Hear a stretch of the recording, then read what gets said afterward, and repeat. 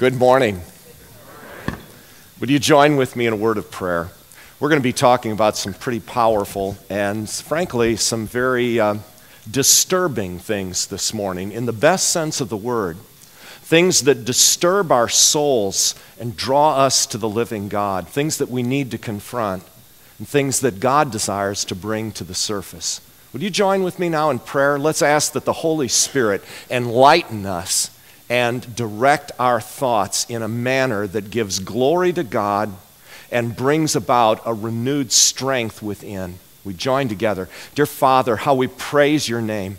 We thank you that you are the Lord of the universe, that you are the God of all creation. And we rejoice that because you are God and because of your character, you care for each and every one of us. You know our deepest needs, and you know, you know the desires and the yearnings of our hearts. We thank you, Lord, for your incredible mercy and your grace in Jesus our Savior. And we thank you for the life changing power that he brings to all who call upon him. This morning, O oh Lord, may we call upon your name. May we seek you while you may be found. And may we experience the joy of knowing you, serving you, and walking in step with you. We pray it in Jesus' name. Amen.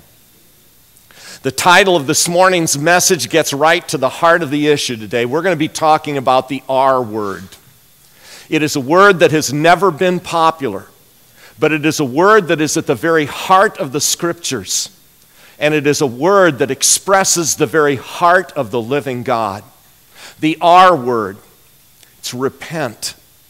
This time of year, followers of Jesus all around the world are talking about the ministry of John the Baptist, the forerunner of the Messiah, the one who prepared the way for Jesus' coming. John the Baptist has had hymns written about him. He is spoken of frequently. This time of year, he is discussed and uh, mentioned in many settings where followers of Jesus get together. But sometimes, in the midst of all of that, we lose sight of some things.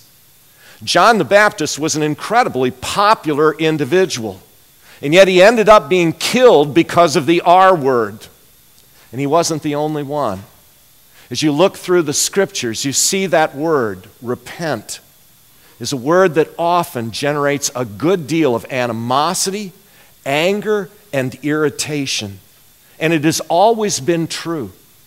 For example, when you look in the Old Testament, an individual who was known for speaking words of repentance to God's people was a prophet by the name of Isaiah. According to the rabbis, he was finally placed inside a log and sawn in half. Another prophet known for proclaiming to God's people a message that said, Come back to me, repent and return to me, was the prophet Jeremiah. He was thrown in jail and in a cistern and was finally hauled out of the country by rebellious folks.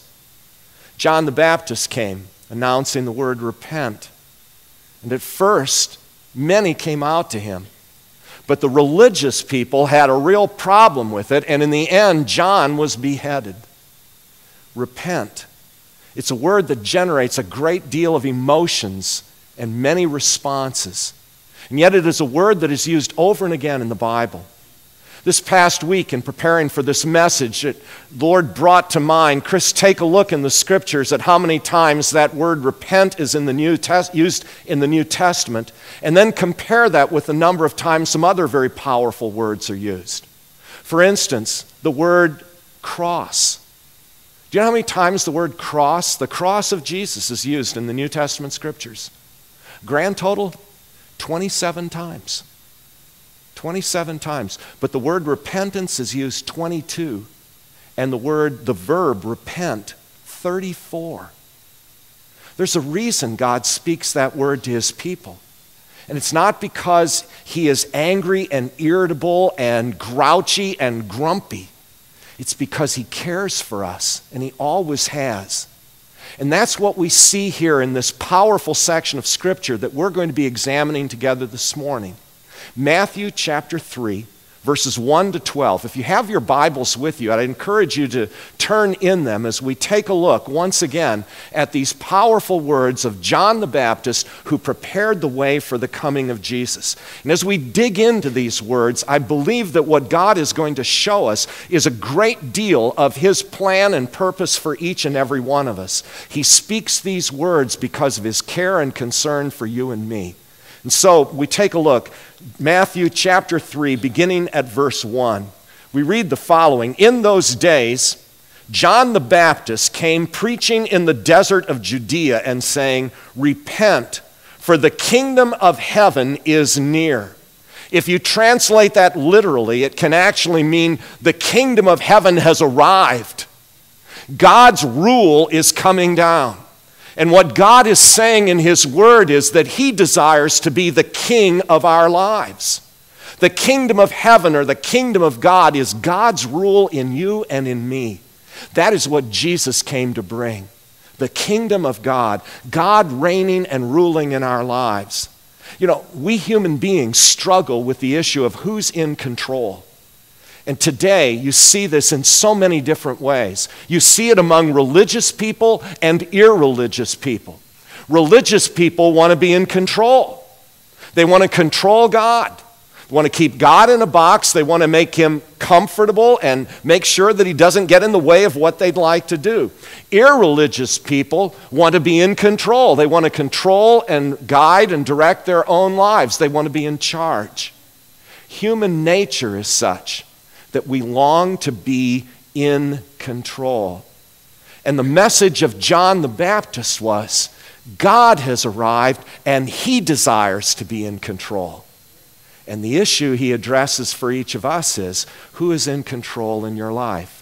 John the Baptist came in the wilderness of Judea proclaiming, Repent, turn back to God, because the kingdom of heaven is near. The word that he used, repent, is a fascinating word. It occurs many times in the New Testament, as I already mentioned. But do you know it is a word that keeps coming up over and again in the Hebrew scriptures, in the Old Testament as well? The normal Hebrew word for repent is the word shuv. It means to turn around or to come back or to turn away from something evil. It is translated repent on a number of occasions in the Old Testament scriptures. But more often than not, it's simply translated turn back, come back to me, return to me, O house of Israel, God says. Do you know how many times that word shuv is used in the Old Testament?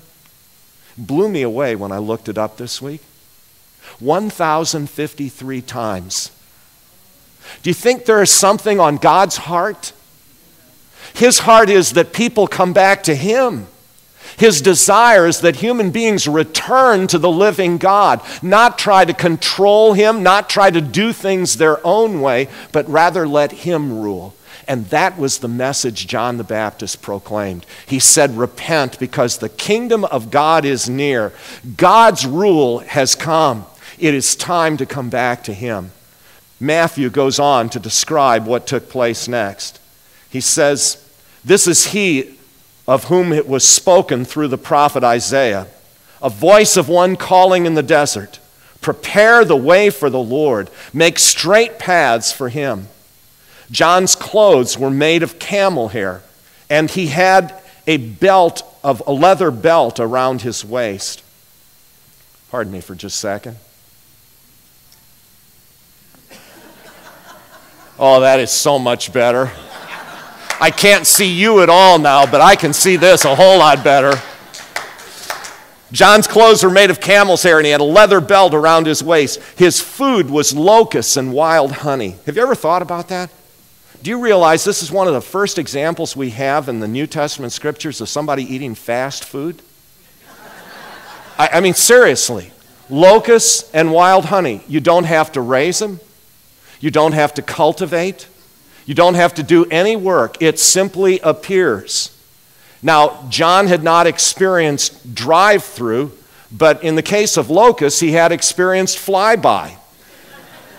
That's what he ate locusts and wild honey.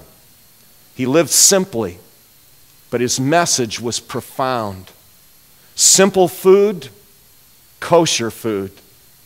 but the message was life changing. Here is what John went on to say People went out to him from Jerusalem and all Judea and the whole region of the Jordan. Confessing their sins, they were baptized by him in the Jordan River. But when he saw many of the Pharisees and Sadducees coming to where he was baptizing, he said to them, You brood of vipers, who warned you to flee from the coming wrath? Produce fruit in keeping with repentance. And do not think you can say to yourselves, We have Abraham as our father. I tell you that out of these stones, God can raise up children for Abraham. John recognized when religious people were coming to him that they often carried a great deal of baggage, and that is frequently the case.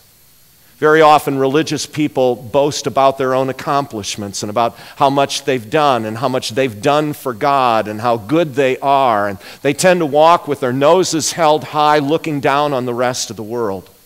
John was not fooled by religious hypocrisy. When he saw them coming to him, he said, Don't you begin to say that you have Abraham for your father. Don't tell me about your spiritual pedigree. Don't brag about the fact that you are a devout Jew and always have been, and you're a descendant of so and so who is a descendant of so and so who is a descendant of so and so. John says, I tell you that out of these stones, God can raise up children for Abraham. Abraham was the father of all who believe. Abraham was a man of faith. Abraham was a man who knew everything he had came from God. John said that's the kind of heart that God desires. A heart that's humble before him, a heart that does not brag or boast except in the Lord God, a heart that truly does seek what is best for others as well as the heart of God. John says to the Pharisees and the Sadducees and all the others who were boasting about their spiritual backgrounds, he said, God can raise up from these stones children for Abraham. It was actually a play on words. The word for stones in Hebrew is the word abanim. The word for children, banim. God can raise from these Abanim, Banim for Abraham. God can raise from these stones real children of Abraham, real believers. Don't brag about your own personal experience. Don't brag about your own accomplishments. Turn to the Lord, John is saying. And he goes on. This is what we read here in these powerful words of Scripture. I tell you that out of these stones God can raise up children for Abraham. Verse 10 The axe is already at the root of the trees, and every tree that does not produce good fruit will be cut down and thrown into the fire. I baptize you with water for repentance. But after me will come one who is more powerful than I, whose sandals I am not fit to carry. He will baptize you with the Holy Spirit and with fire. His winnowing fork is in his hand, and he will clear his threshing floor, gathering his wheat into the barn and burning up the chaff with unquenchable fire. Today, when many people read those words, they say, Whoa, that John the Baptist, he was one tough dude. What we sometimes miss is the message he proclaimed is just as relevant for today as it was 2,000 years ago. You know, when you compare the message of John the Baptist with the message of Jesus, you find some really striking similarities. And that's especially true here in the Gospel of Matthew. I'm going to put up on the screen a few things that may shock you at first, but in the end will speak to your heart and my heart in some very powerful ways. When we compare and contrast John the Baptist and Jesus here, in the Gospel of Matthew, one thing that we see first off is that these two speak the same message. They really do, word for word. In Matthew chapter 3, verse 2, John the Baptist says, Repent, for the kingdom of heaven is near. If you turn to Matthew chapter 4, verse 17, Jesus says, Repent, for the kingdom of heaven is near. They're both saying the same thing. God desires to reign in a person's heart.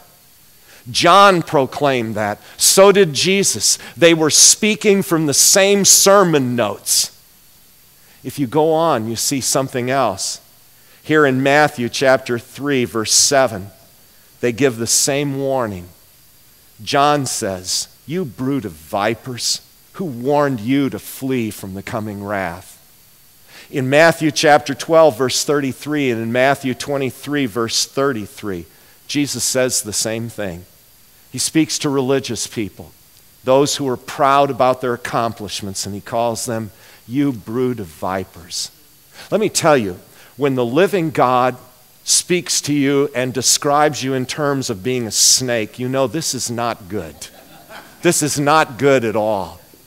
And yet, that was the warning given by both John and Jesus.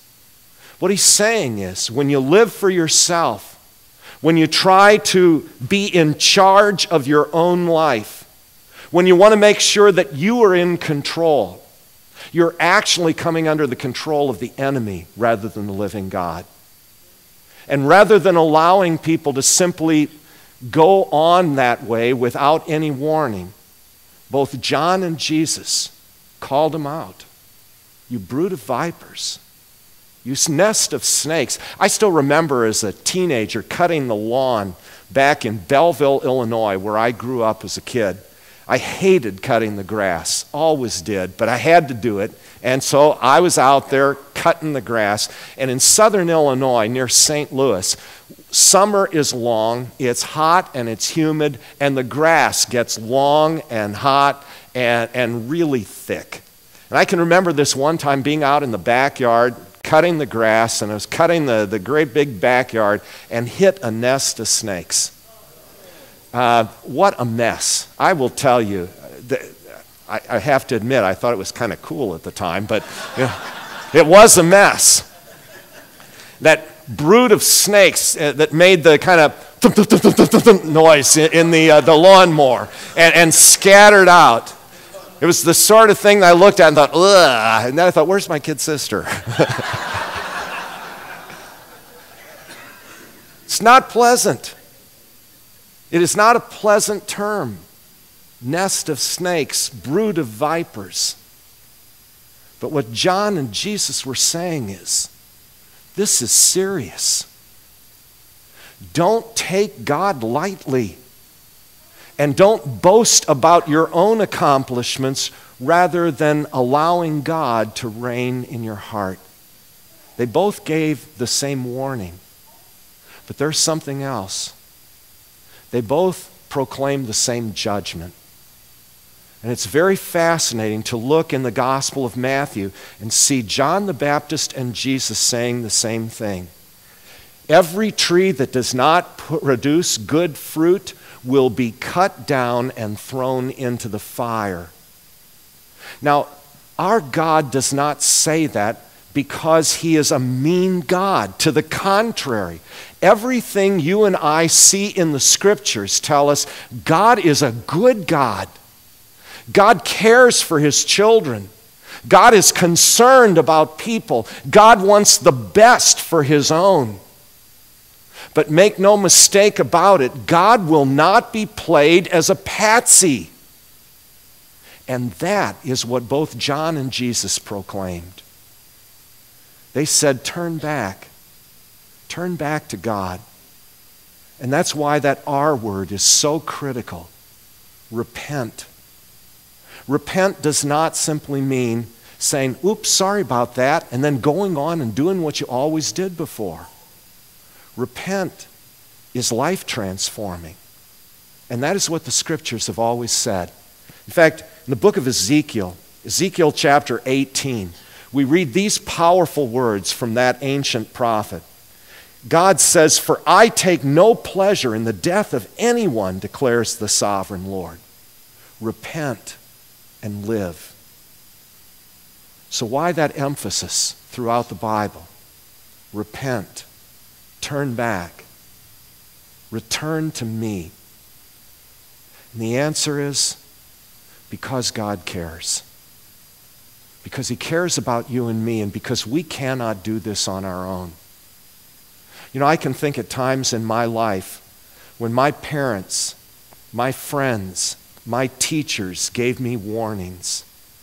And they did that not because they were angry at me or because they didn't care for me. They did it because they were concerned for me. And that is precisely what motivates God. Repent and live, he says. And what he's doing is the very thing that John the Baptist did. He's calling people back to the living God. And when we hear those words, repent, return, turn back to me, those are words that summon each and every one of us into a new relationship with our God. A God who cares about us and cares about us deeply. I still remember reading a book many years ago written by a Lutheran pastor and professor, a convert to the, the biblical faith, by the name of John Warwick Montgomery. Today, Montgomery is in his 80s. He lives in London, England. But he penned a book several decades ago entitled Damned Through the Church. Quite a title, isn't it? Damned Through the Church. He said he originally wanted to title the book Going to Hell Through the Church, but the publisher wasn't real keen on that title. But what was at the heart of the book is what is at the heart of John and Jesus' proclamation. And that is, you can think yourself religious and still be far away from God. You can call yourself a good person, but still be far removed from the living creator of the universe. You can describe yourself as spiritual, but you can still be incredibly messed up in your relationship with God. And if you're sitting there thinking to yourself, whoa, let me tell you something else. You can be absolutely broken and devastated in your life and be closer to God than you ever imagined. Because you see, what our God desires is hearts that understand how deeply we need Him and how much we require what only He can give. When John the Baptist said, Repent, he wasn't simply beating up on people. He was calling people to the only one who can turn our lives around, and that is the Lord Jesus Christ. John prepared the way for the coming of Jesus. John prepared the way so that people would recognize the Savior when he arrived. Jesus spoke the same words that John did because all of us have the same need each and every one of us, no matter how good, how delightful, how pleasant we are, how grumpy, how grungy, how difficult, how all of us have a need that only God can fill. And that's what Jesus came to do. And that was at the heart of John's message. He was calling people to repent because unless and until we see that we need a Savior, we are going to be lost either in selfishness and self pride or in despair and deep sorrow. But what God offers is life transformation and joy and forgiveness and the power to begin all over again. And that is why the Lord Jesus came. We call him Jesus Christ Many people look at that and say, well, Jesus was his first name and Christ was his last name. That's not what we have here. Christ is a title, the Messiah, the anointed one, the promised one who would come to deliver all people. Jesus, the name literally means God is salvation. God is our salvation.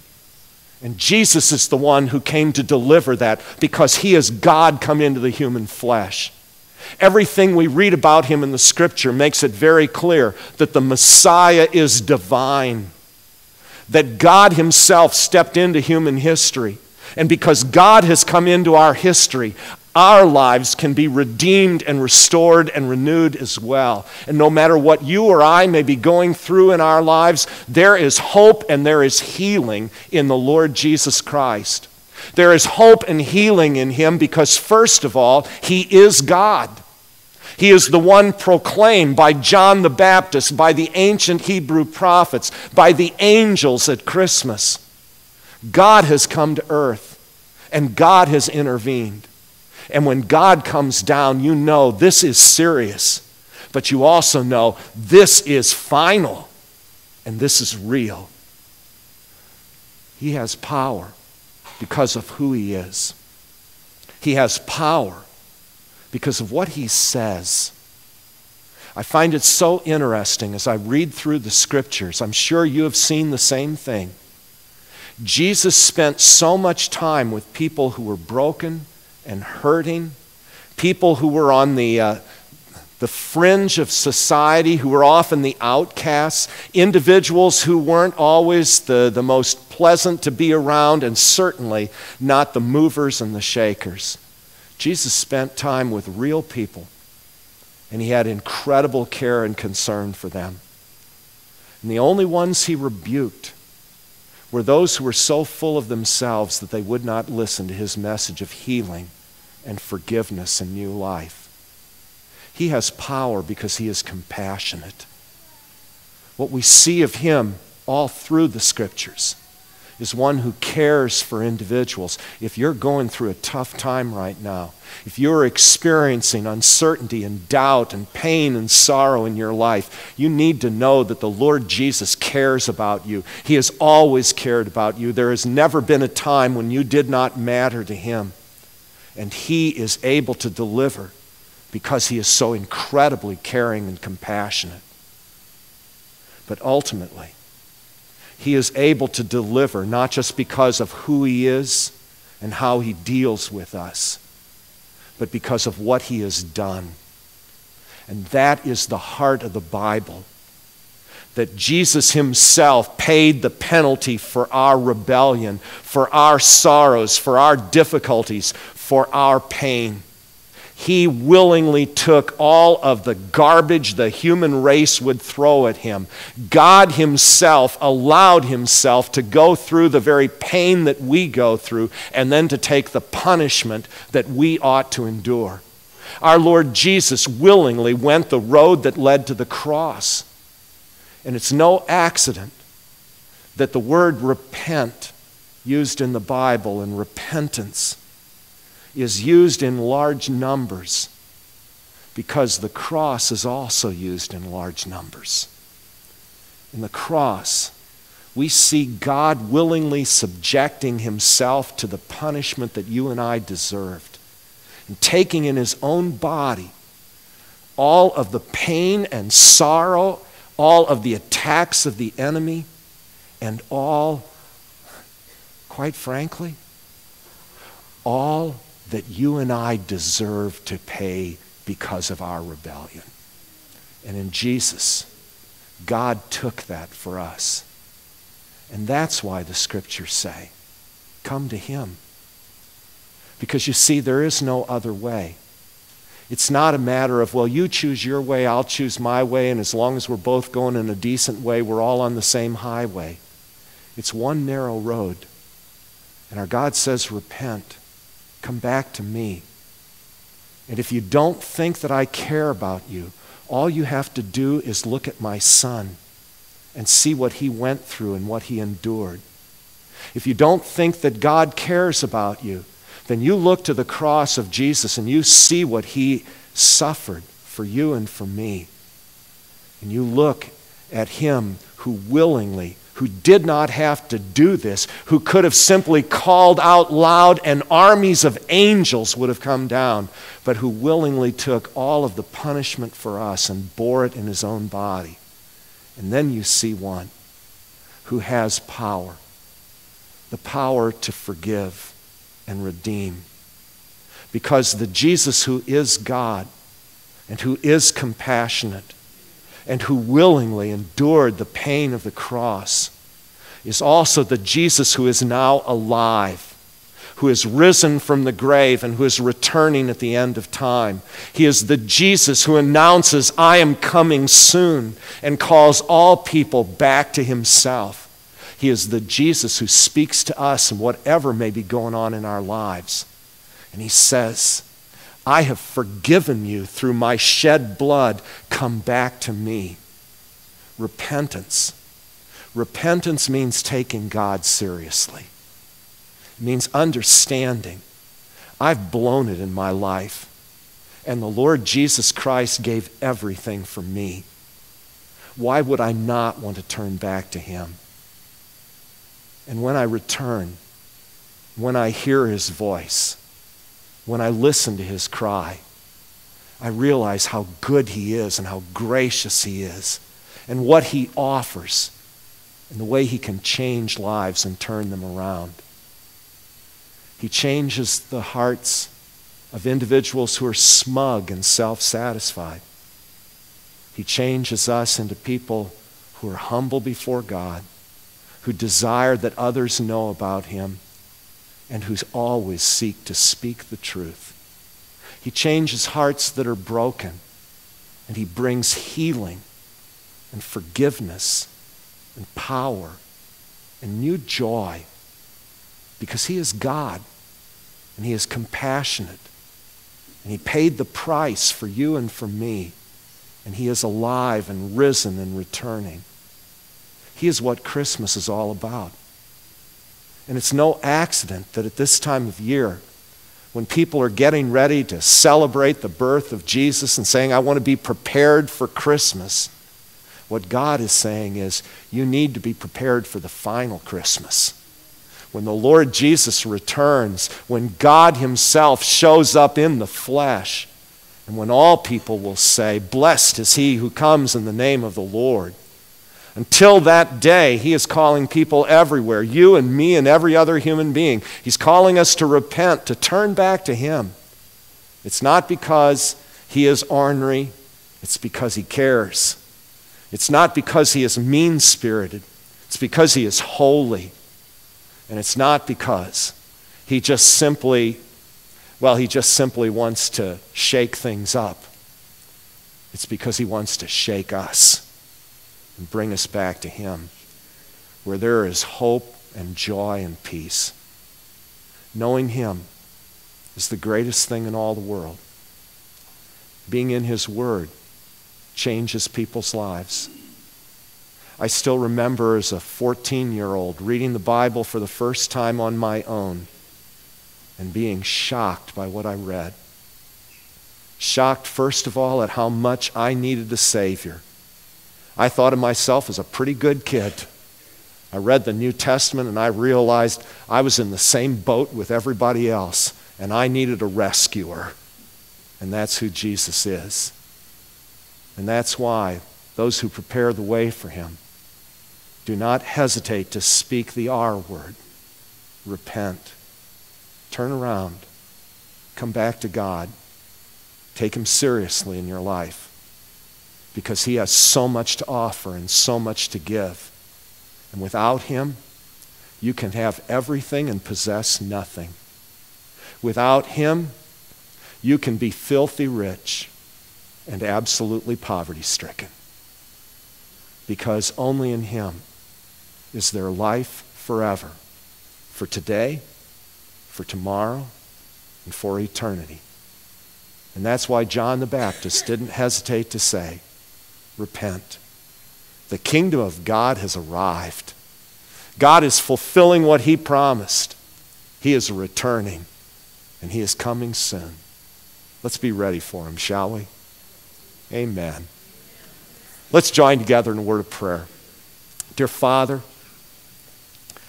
how we thank you for your incredible goodness. Lord, not a single one of us can stand before you and brag about our accomplishments or boast about what we have done. But you love us so deeply that you actually came down, and for that we give you heartfelt thanks. May we hear the words of John the Baptist, of our Lord Jesus, of the Scripture saying, Repent. May each of us daily turn back to you. And in turning to you, may we see more and more clearly how good you are, how much you have given, and how much you can do.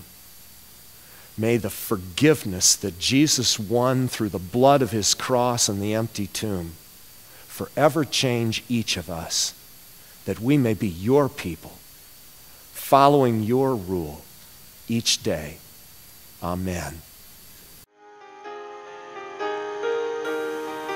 God bless you today. I pray that you have been strengthened and encouraged by what you have just viewed. The Bible is very clear. It says God's Word is a lamp to our feet and a light for our path. His Word has the power to change us from within. I pray that the ministry of Awake Us Now will have a life changing impact upon you and those close to you.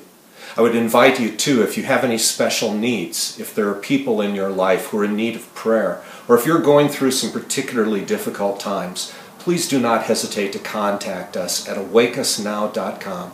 There are people standing by who will be happy to assist you in any way possible. God bless you, and God keep you in His incredible care.